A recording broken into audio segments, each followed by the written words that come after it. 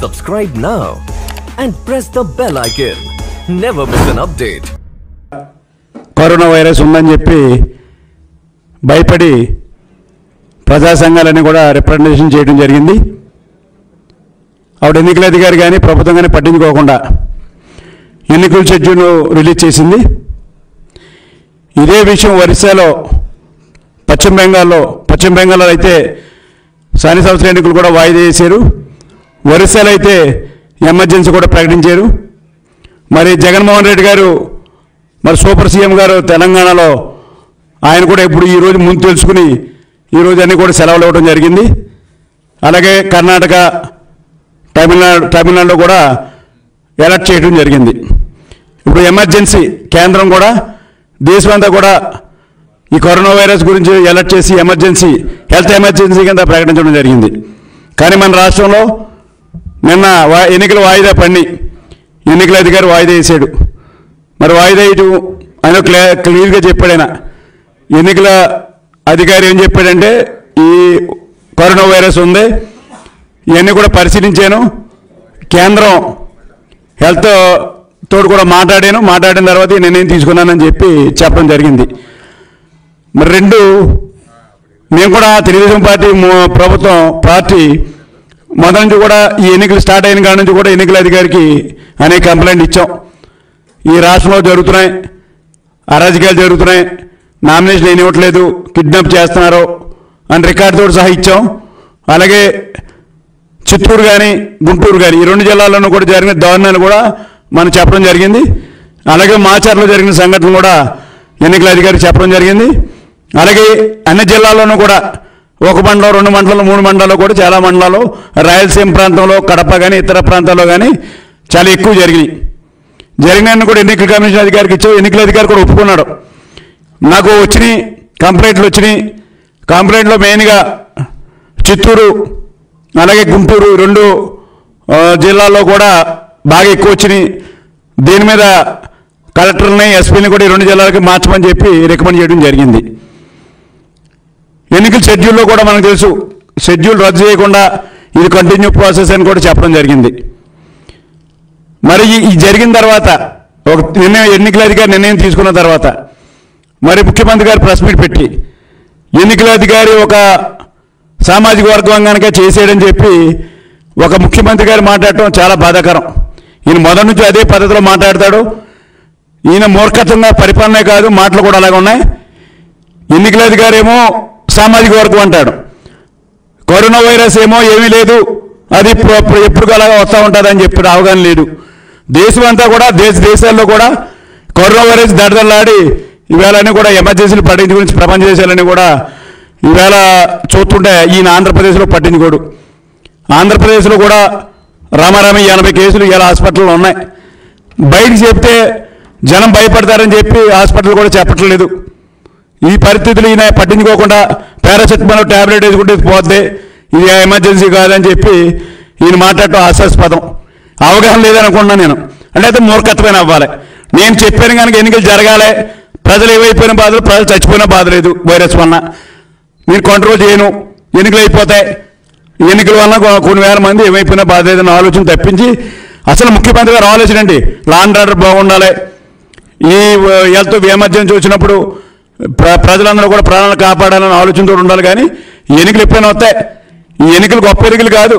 ఎందుకంటే కోఆపరేటివ్ సొసైటీలో నామినేట్ చేసి ఈయన నామినేట్ చేసేది మొత్తం అంతా కూడా అలాగే ఇది కూడా చేసుకుంటే బాగుంటుంది ఎందుకంటే చిత్తూరు జిల్లాలో యునానమస్ గుంటూరులో యునానమస్ బెదిరించి పోలీసు యంత్రాంగం కూడా సహకరించి కిడ్నాప్ చేసుకుని విత్డ్రా చేయించుకుని యునానమస్ అది గొప్పది. ఏదైనా నీకు నీకు బలం ఉందో లేదో తెలుసుకోవాలంటే ఫ్రీగా ఎన్నికలు జరిపించు. ఎన్నికల అధికారి కూడా ఏ ఎన్నికల అధికారిని ఎన్నికలు వచ్చినప్పుడు రాష్ట్ర ఎస్పీలు డి కలెక్టర్స్ అన్నీ కూడా ఎన్నికల కంట్రోల్ ఉంటాయి. కానీ ఇది జనం చేయించిన నుంచి కూడా ఎస్పీని కలెక్టర్ని కంట్రోల్ ప్రభుత్వం కంట్రోల్ ఉన్నాయి. ఎప్పటికప్పుడు ముఖ్యమంత్రి గారు డైరెక్షన్ ఇస్తున్నా ఉన్నాడు మంత్రికి డైరెక్షన్ ఇచ్చాడు. ఎన్నికలు జరగాలి ఏమైపోయినా బాధ లేదు లాండ్ ఆర్డర్ పోయినా బాధ అన్నట్టుగా మాట్లాడాడు ఆయన. మరి మంత్రులు రెచ్చిపోయారు ఇటు ఎమ్మెల్యేలు రెచ్చిపోయారు రెచ్చిపోయి అలా అరాచకాలు సృష్టించారు అన్ని చోట్లనే. దాని మీదే కంప్లైంట్ వెళ్ళింది. ఇప్పుడు ఎందుకు ఎస్పీలు మార్చావని ఇప్పుడు నా- నేను ముఖ్యమంత్రిగా ఉన్నాను ఎందుకు మార్చావని అడుగుతున్నాను ఆ, నేను అడుగుతున్నాడు ఇవాళ మరి మొన్న ఎన్నికలు జరిగినాయి.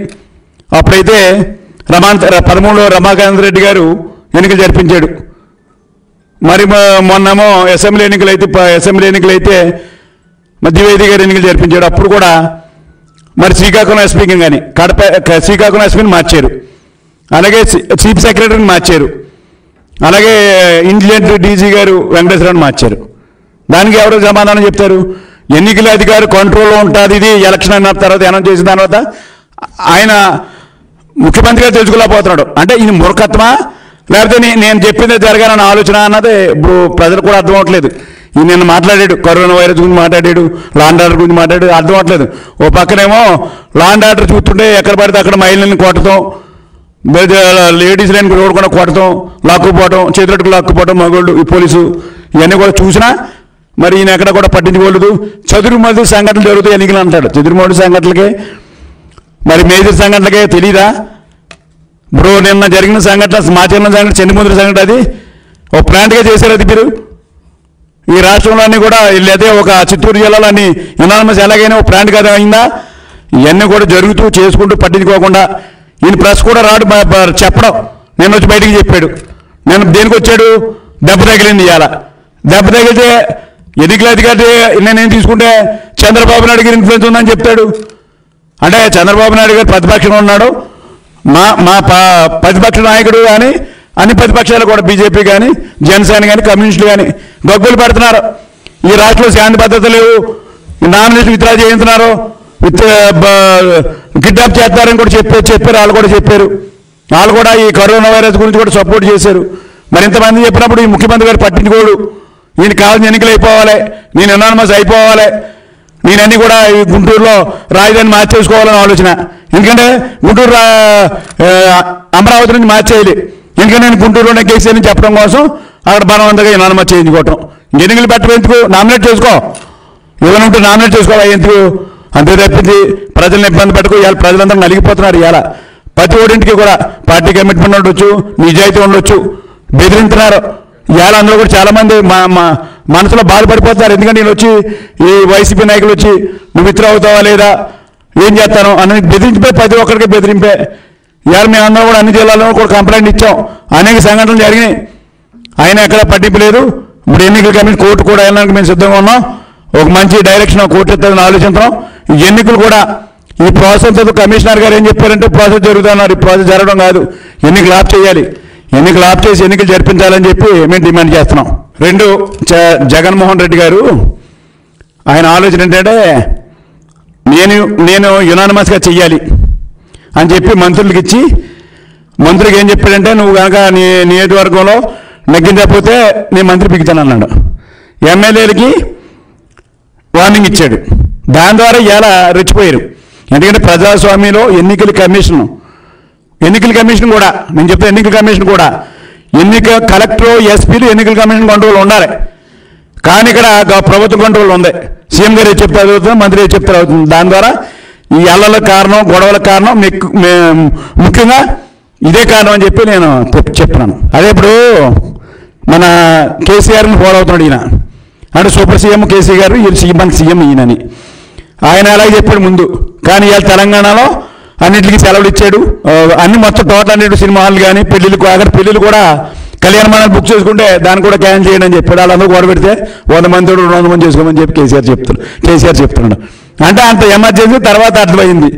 వీనికి అర్థం అవ్వలేదు. మరి మరి సూపర్ సీఎం ఏం చెప్పాడు కానీ మరి ఆయన కూడా పారాసెటమాల్ సరిపోద్ది ఏదో ఏమీ లేదని చెప్పాడు. ఇవాళ సీరియస్ అయింది. మరి కేసీఆర్ ఎందుకు నిర్ణయం తీసుకున్నాడు?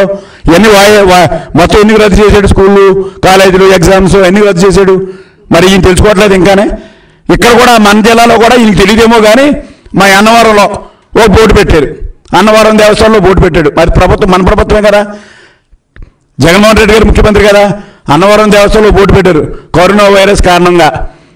పిల్లలు రావద్దు అరవై సంవత్సరాలు దా దాటొద్దు అని చెప్పి ఎలా వేళ ఇచ్చారు. అంటే ఇలా ఈ ప్రభుత్వం డైరెక్ట్ ఇచ్చింది కదా. తిరుపతి దేవస్థానం కూడా చెక్ చేస్తామని చెప్పి ఇచ్చారు కదా. మీరే డైరెక్షన్ ఇచ్చారు. ఓ పక్కన ఏమీ లేదు భయం లేదు. ఎన్నికలు జరిపోవాలి జనం ఏమైపోయిన బాధలు కరోనా వైరస్ వచ్చిన బాధలైన ఆలోచనతో నువ్వు ఎన్నికలు జరగాలన్న ఆలోచన తప్పించి ప్రజలు ఏమైపోయిన బాగాలేదని ఆలోచన ఉన్నామని చెప్పి దీన్ని బట్టి అర్థమవుతుంది. ఆయన ఆయన ఎన్ని తప్పులు చేసినా ఆయన కోర్టు అలవాటు ఆయనకి. పదకొండు కేసులు ఉన్నాయి. ఆయన కోర్టు అలవాటు మరి ప్రజాస్వామ్యంలో ప్రతిపక్షాలు ఇప్పుడు మన నిన్న మొన్న పశ్చిమ బెంగాల్లో.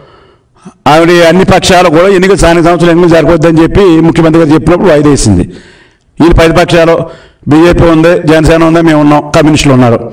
వీళ్ళు చెప్పినా ఈయన పట్టించుకోడు అంటే ప్రతిపక్షాలు మాట కూడా వినకూడదు. ఈయన ఒకటే ఆలోచన. నేను చెప్పింది జరగాలి. అంచేత నేను ఎన్నికలు పెట్టమన్నాను. అంత ఎన్నికలు జరగాలి. ఆయన పైన పై అధికారి కంటే పై అధికారులు ఎవరో కేంద్రం. చెప్పొచ్చు కదా కేంద్రానికి ప్రియ చేస్తాను? అది సిగ్గు. మరి కేంద్రం కాదు పై ఎవరు చెప్తాను పై వాళ్ళు ఎవరున్నారో కేంద్రానికి చెప్పాలి. చెప్పండి బాధ ఏముంది? మరి దేశం అంతా కూడా వైరస్ ఉంటే ఓ, గ- సెంట్రల్ గవర్నమెంట్ ఏం చెప్తుంది? వద్దనే చెప్తుంది మళ్ళీని కోర్టుకి వెళ్తే ఏం చెప్తుంది? కోర్టు కూడా అదే చెప్తుంది. ఇవాళ పది మందికి వెళ్తే ఎవడో షేక్ హ్యాండ్ తీసుకున్నా కూడా ఎవడు భయపడిపోతున్నారు దండం పెట్టినా కూడా దగ్గరికి వెళ్ళినా కూడా భయపడే పరిస్థితి. ఇవాళ ట్రైన్స్ నేను ట్రైన్లో వచ్చాను ఇప్పుడు. కూడా ట్రైన్స్ ఖాళీగా ఉన్నాయి. ఫ్లైట్స్ అయితే ఎక్కట్లేదు ఎవడనే ఇలా అంత భయానంగా ఉంటే ఈయన ఎలక్షన్ పెడతానంటాడు. ఈయన కావాల్సింది దుర్మార్గ పరిపాలన నేను ముఖ్యమంత్రి. పదే పదే నేను ముఖ్యమంత్రి నేను ముఖ్యమంత్రి ఆయన ముఖ్యమంత్రి కాదని ఎవడన్నాడు ఆయన ఆయనే ముఖ్యమంత్రి. ఆయన నూట యాభై ఒకటి సీట్లు వచ్చినాయి. ఆయనే ముఖ్యమంత్రి. మేము ఒప్పుకుంటున్నాం. ప్రతిపక్షంగా ఒప్పుకుంటున్నాం. అంతే తప్ప నువ్వు పరివారము నేను ముఖ్యమంత్రి నేను ముఖ్యమంత్రి చెప్పక్కర్లేదు అని చెప్పి మరోసారి జగన్మోహన్ రెడ్డి గారు నమస్కారం చెప్తున్నాను.